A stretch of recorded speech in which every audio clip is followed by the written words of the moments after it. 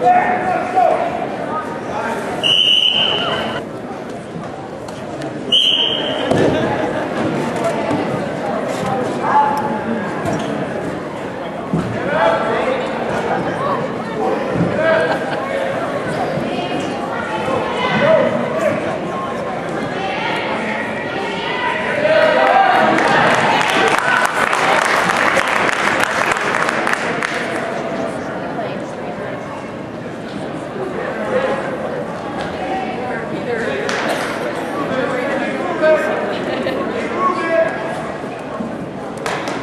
So else is left to wrestle. Anybody?